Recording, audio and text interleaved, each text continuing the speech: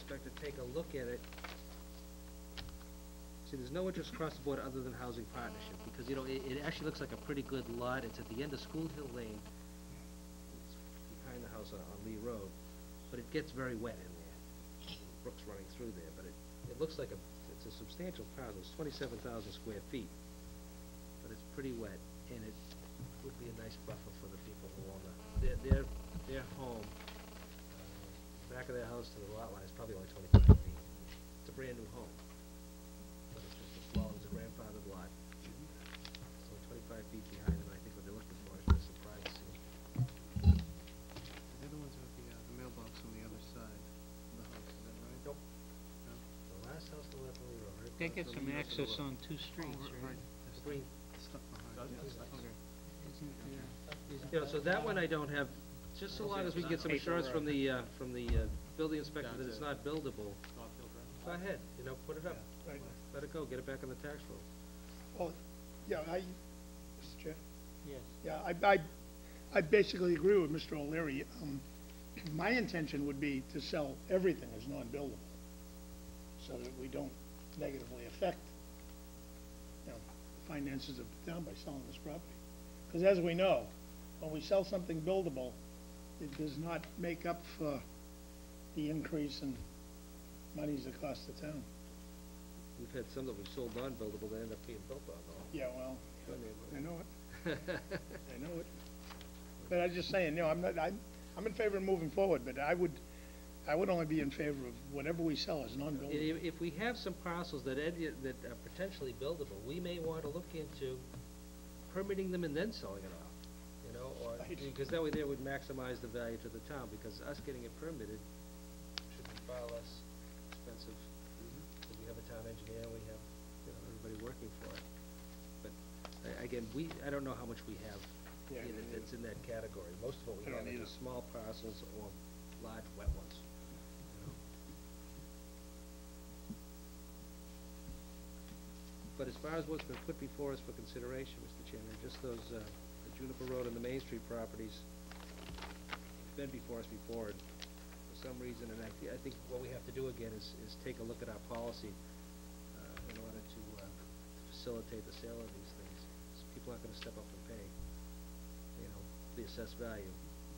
Well, we also are required to put it out for bid, right? Yep. Right, oh, yeah, put out the bid, but, uh, but we've been using them, assessed value as the minimum bid, and sometimes the assessor's way of valuing property is not necessarily market value. And it works both ways, sometimes it's a little low, and Well, sometimes it's a little high. wanna talk And about many times- Eisenhower, Many Steve, times it it's only been, worked one way. many ti- many times, as we could see, the, the assessed values were way too high, and we ended up paying. And which is case in point of what we have here for some of our town-owned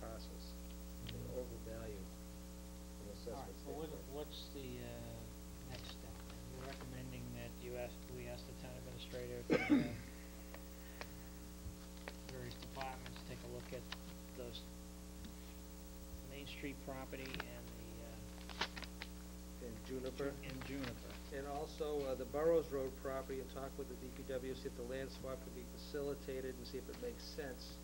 What lot was that? Uh, It was lot, that was map eight, parcel one ninety-five, which is the town-owned land, which is right on Burrows Road. Right.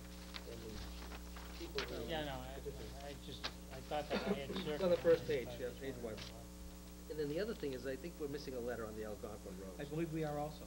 Yeah, we're missing a letter, I believe that the Ehlerts, uh, E H L E R T, uh, people who need to be contacted, see if they're still interested, I forget what the other, uh, the butter's name is. Steve, what's the uh, land swap uh, parcel where the one Mikey ninety-five still have it there? Yeah, why don't you pass right down a shot? It's, One oh two is what they own. they own one oh two and they wanna swap for one. One ninety-five? It's, it's, it looks comparable. Good, Sean, take a look at the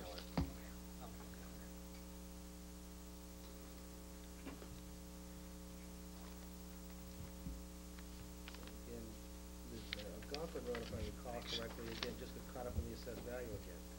Wasn't, it's not worth anything to anybody else, really.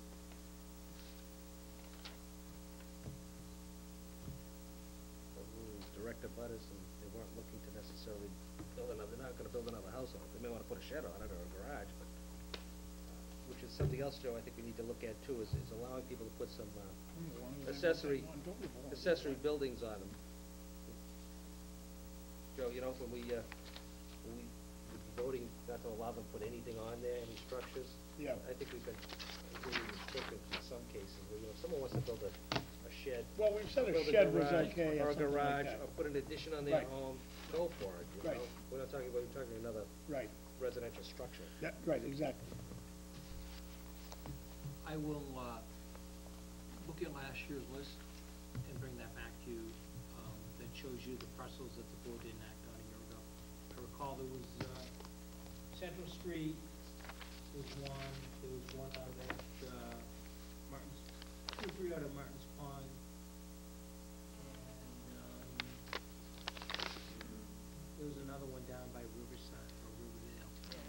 Riverside Drive, yeah. That, that would be helpful, but I, I think if we take this list and we could get off things that we absolutely don't wanna sell, it would be easier then to put a marketing plan together, and also develop a policy of how we want to go about doing this. Well, I think, I think as I look at this list, it might be helpful for the departments that are listed here that have indicated an interest in virtually everything, to narrow down their top five, top ten, whatever that, whatever numbers that they actually feel that they can look at and see that this is of.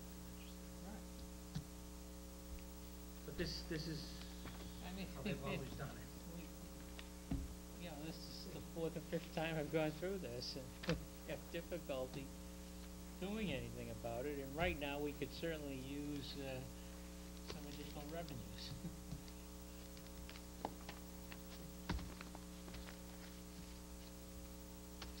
Anything else on this, Steve?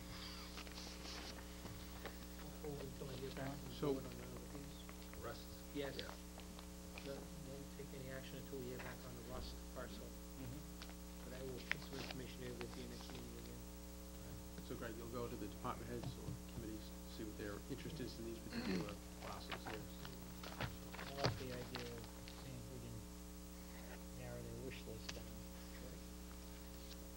I like that too. A lot of this is wetland, if it's wetland and we're not interested in selling it, and it's, conservation is interested in it.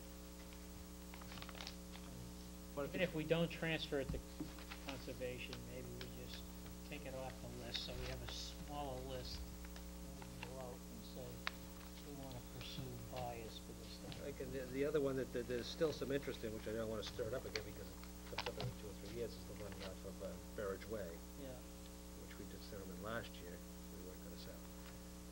know there's still interest there. Where is their parcel? At the very, at the, you go in Burridge Way, there's a, uh, there's an opening to the left at the end of the cul-de-sac, which backs up to Pomeroy Road. There's a buildable lot in there.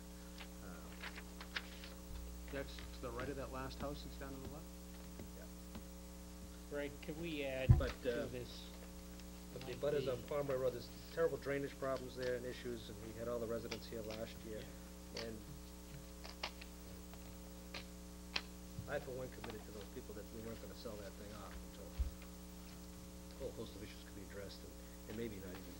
And, again, it, it, it's a, a lot that potentially, down the road, two thousand and twelve, uh, if we're gonna, if anything's gonna go in there, maybe it should be affordable housing. Problem is, is that the access to it, and there's, um, there's utilities already to that parcel.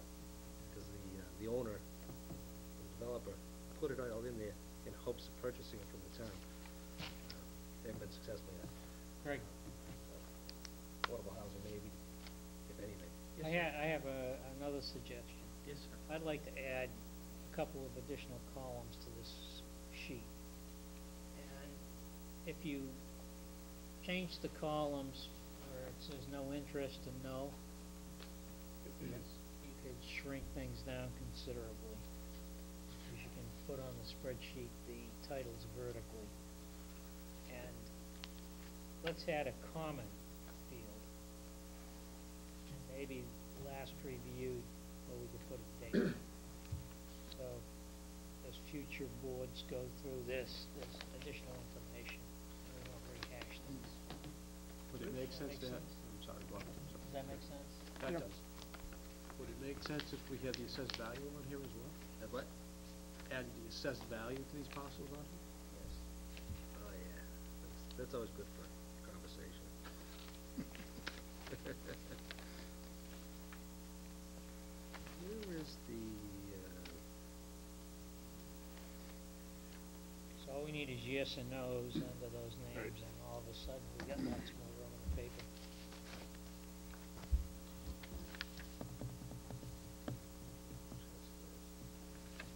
where's the Smith property?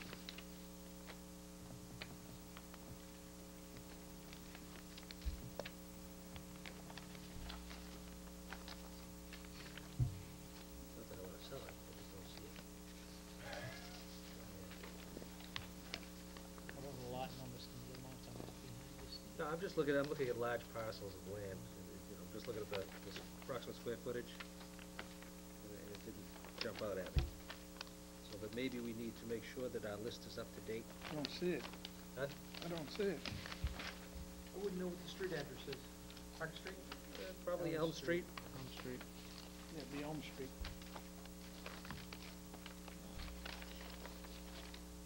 Doesn't have an address. But it would still be a huge Would square say off footage. Elm. It'd be off Elm, it's not off, of- it could be off of Wright Street. Right Street. Well, it's, mu- it's, um, it may multiple parcels too. Either way, it's not here. No, it's not here. There's only one of Elm Street. There's only sixty-three. Oh, oh, Again, off of Chestnut Street is here, both of them, and off of Parsonage is here. See, the, the one that's off Chestnut, I think that, I think this list should also, um, I think it's, uh, page five, map fifty-six, parcel sixty-two. That's the one that we set aside half, uh, part of it, it's not all of it, for the, uh, supportive living, uh, housing authority. Mm-hmm. So that, so there should be a notation on there like, uh, spoken for, you know, uh, Bob said, take it off the list, uh. And Again, I don't see the Smith property so I guess I, I would have to question a little, bit, to make sure if we have, uh, have this up to date. I mean, I, I'm not the author of the list. It- Right, I It know. predates me, but I, I'm wondering if it's just those parcels that, that meet the definition for being surplus or not utilized that are on here, because I'm not sure we included, we included any. Yeah, but that, uh, Smith wasn't park property.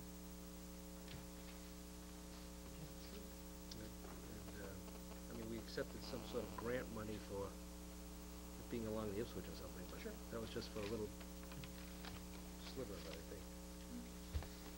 That, and Eisenhower is on here. Although those are all lots that we took and added up, so. Is Eisenhower all on here or not? I don't think so. Well, If you go Doubt to, it. uh, No, i- all the Eisenhower acquisitions are not on here. What's on here were the town-owned Oh, the parcels, town-owned the town-owned parcels. parcels that are included within Eisenhower Park are on here. And I think at this point, we need to take those off. Is that the Oscar's Way? Is that the two twenty-six? No. So some of these ones up of Oakdale, um,